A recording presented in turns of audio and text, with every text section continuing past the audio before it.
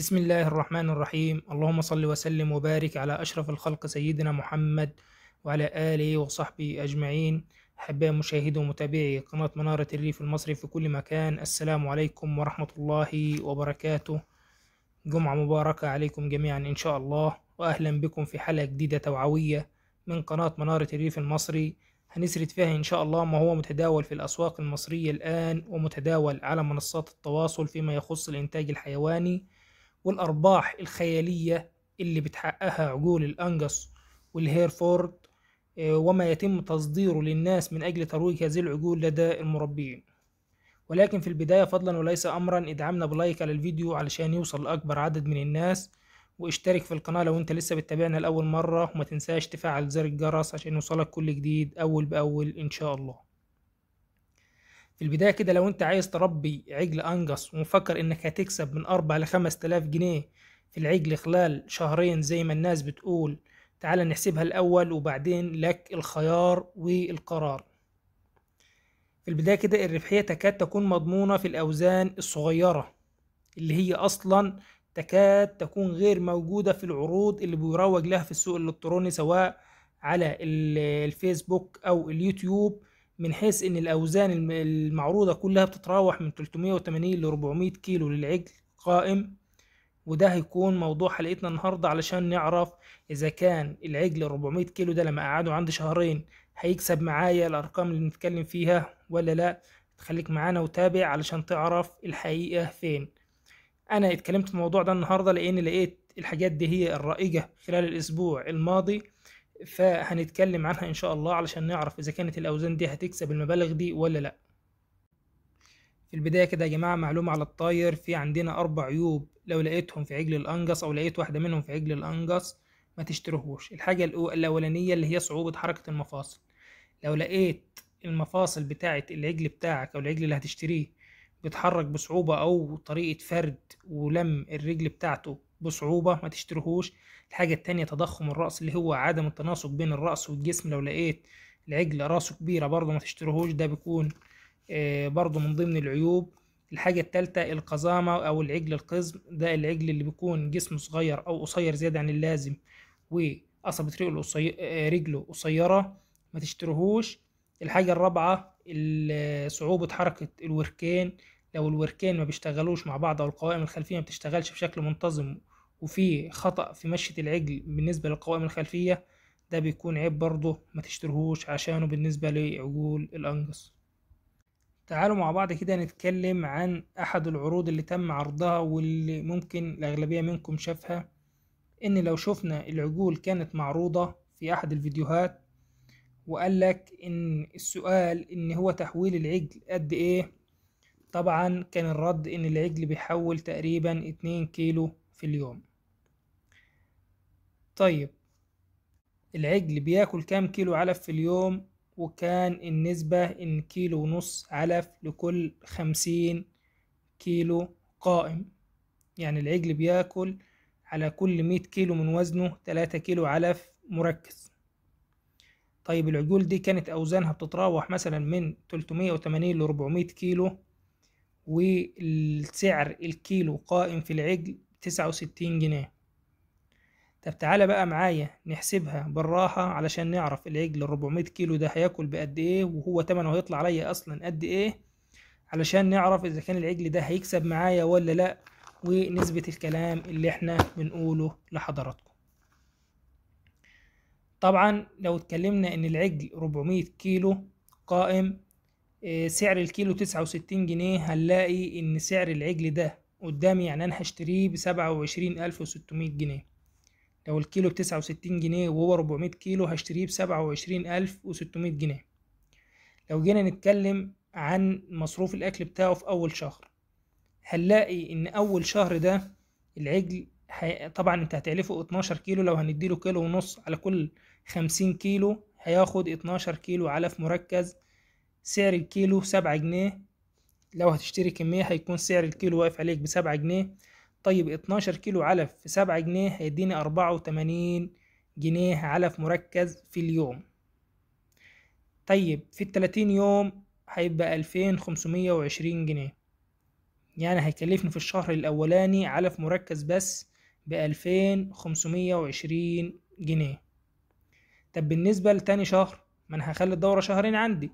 بالنسبة لتاني شهر هنلاقي إن العجل هياكل تلاتاشر كيلو ونص في اليوم تلاتاشر كيلو ونص في اليوم علف مركز.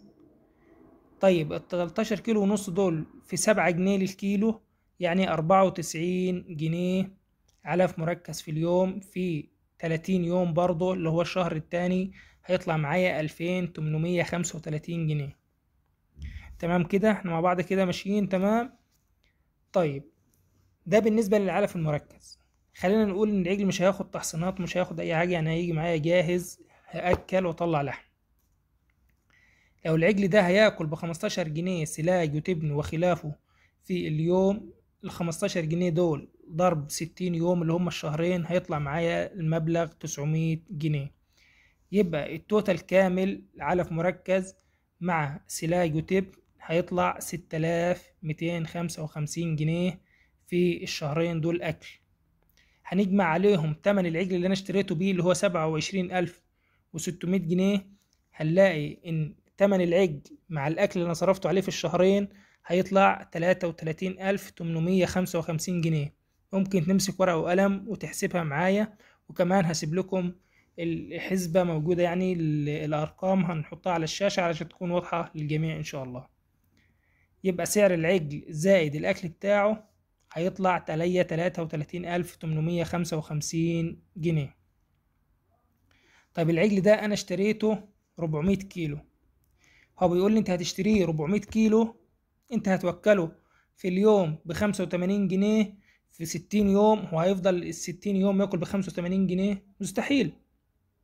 العجل وزنه بيزيد فأنا هزود علف عشان النسبة والتناسب. تمام؟ وكمان العجل بيكون وصل لمرحلة إنه خلاص قرب يقفل فالتحويل بتاعه ما بيكونش عالي. يعني أنا العجل مش هوصله ل 850 كيلو العجل أنا اخر ابيعه على 500 بعد كده هيخسر معايا. يعني على ال 500 يا دوب يلم نفسه لو اشتريته 400 كيلو وبعته على 500 أو 520 يا دوب العجل يلم نفسه. فوق كده هيخسر. وهنعرف دلوقتي إزاي. طبعا العجل اشتريته أنا 400 كيلو هيحول 2 كيلو كل يوم على كلامهم. طيب الاتنين كيلو دول في ستين يوم هيطلع معايا مية وعشرين كيلو. طب أنا اشتريت العجل ربعمية كيلو. تمام؟ زود عليهم المية وعشرين كيلو العجل هيزيدهم عندي في الستين يوم يعني خمسمية وعشرين كيلو جرام قائم. طب خليني دلوقتي أنا عايز أبيع العجل ده. هل هبيعه؟ الكيلو قائم بتسعة وستين جنيه زي ما اشتريته؟ لا طبعا.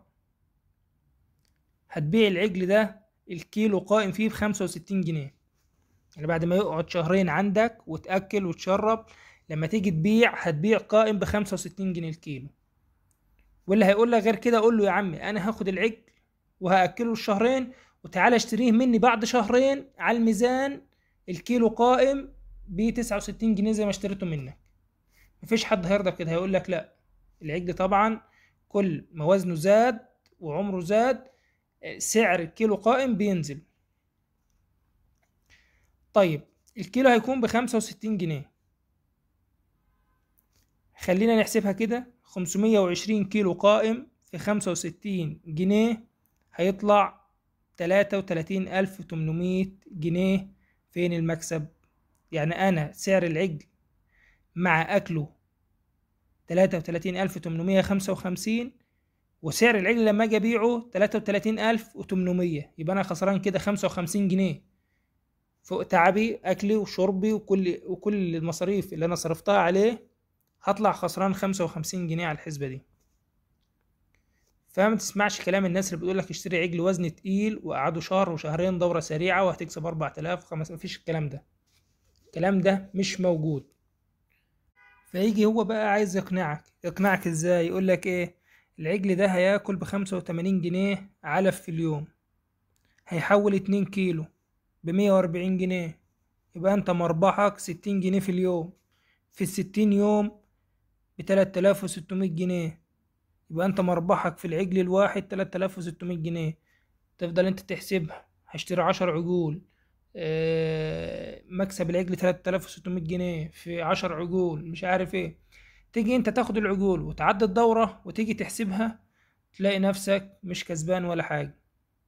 عرفت النقطة دي بتيجي إزاي؟ إن أنت لما بتشتري العجل بتسعة وستين جنيه أنت شاري 400 كيلو من وزن العجل بتسعة وستين جنيه للكيلو.